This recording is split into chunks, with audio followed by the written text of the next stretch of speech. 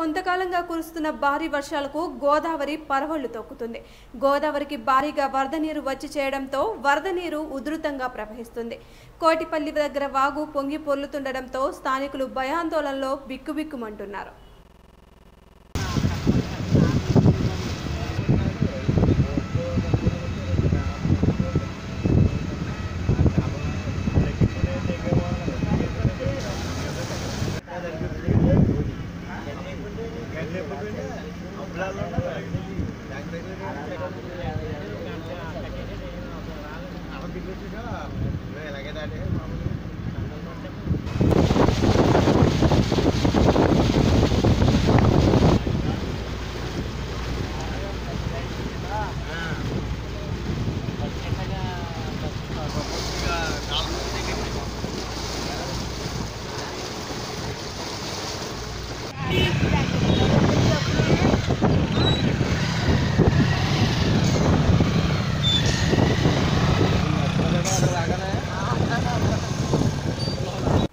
कल